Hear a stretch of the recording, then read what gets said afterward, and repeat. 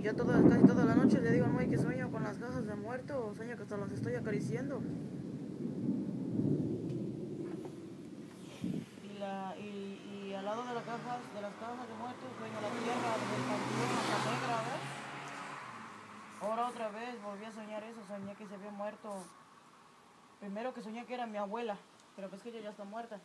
Y soñé que se había muerto y que, que ya me iba yo a una fiesta y que me decían, ya se murió tu abuelita, ya la van a enterrar. Y me decía yo, ahora me voy a quitar el vestido de la fiesta donde iba yo a ir y me voy a poner la ropa negra que yo decía yo, ¿ves?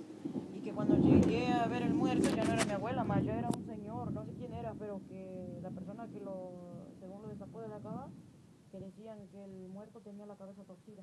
¿Crees? Sí, que vi que se lo estaban tratando de enderezar al muerto la cabeza y no sé quién era el señor.